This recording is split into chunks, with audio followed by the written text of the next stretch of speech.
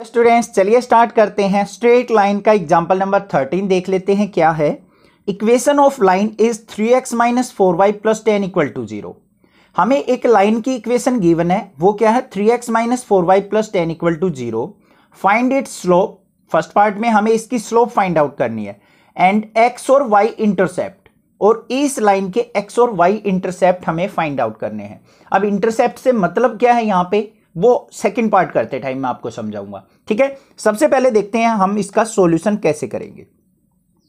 हमें equation given है three x minus four y plus ten equal to zero अब आपके माइंड में आ जाना चाहिए कि जब भी हम किसी इक्वेशन की स्लोप फाइंड आउट करते हैं तो क्या होता है? y is equal to m x plus c की फॉर्म में होनी चाहिए इक्वेशन और ये m जो होता है, x का कोफिशियंट ये क्या कहलाता है? हमारा स्लोप ऑफ़ द इक्वेशन ठीक है? स्लोप का मतलब आपको अच्छे से पता है इंट्रोडक्शन के अंदर समझा हुआ है कि कोई भी लाइन किसी दूसरी लाइन पे कितने एंगल से इंक्लाइंड है, वो होती है स्लोप तो यहाँ पे हमें क्या निकालना है? Y equal to m x plus c तो y वाली टर्म को एक तरफ़ रखो विदाउट y वाली टर्म को आप एक साइड ले जाओ.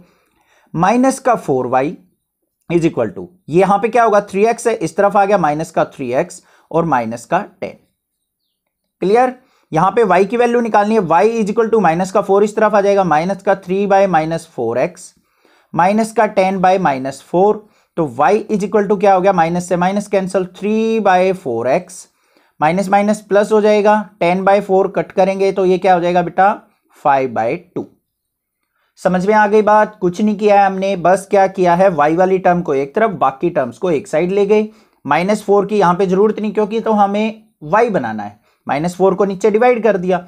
माइनस से माइनस कट गया, थ्री बाई फोर बच गया। Minus minus plus ten by four को फाइव बाई टू लिख सकते हैं। अब इसको कंपेयर कर लो, on compare. Y is equal to m x plus c से कंपेयर करो।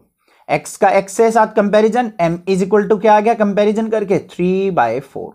बस ये काम करना था, हमें फ़र्स्ट पार्ट में फ़र्स्ट पार्ट का सॉल्यूशन आपके पास आ चुका।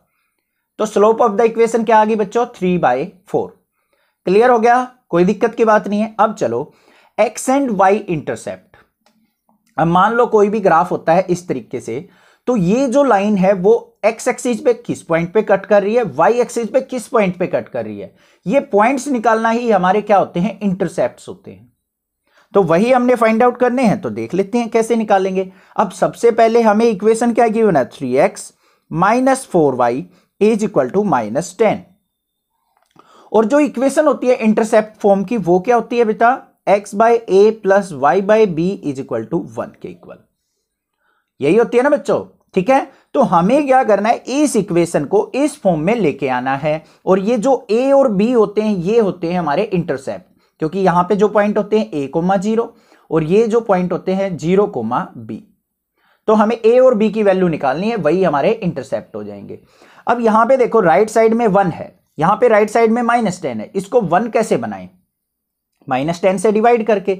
अब इस साइड तो हमें अकेला डिवाइड नहीं कर सकता, मुझे दोनों साइड करना पड़ेगा। तो यहाँ पे क्या लिखेंगे? डिवाइड बाय माइनस टेन तो यहाँ पे क्या हो जाएगा? Three x by minus ten minus का four y by minus ten is equal to minus ten by minus ten समझ में आ गई बात? माइनस टेन से माइनस टेन को कट गया तो यहाँ पे क्या बन गया? वन राइट साइड तो वन आ गई। अब यहाँ पे देखो मुझे एक्स चाहिए न्यूमरेटर में वाई चाहिए न्यूमरेटर में। तो इसको क्या लिख सकता हूँ मैं? x बाय माइनस का टेन बाय थ्री थ्री को नीचे लिया है मैं यहाँ पे माइनस माइनस प्लस हो जाएगा। यहाँ पे y by ten by four लिख सकता हूँ या नहीं लिख सकता हूँ? समझ में आ गई बात? इसको दोबारा से वैसे करेंगे तो ये फोर ऊपर चला जाएगा हमारा। अब यहाँ पे देखो, इसको कंपेयर करो इसके साथ। On compare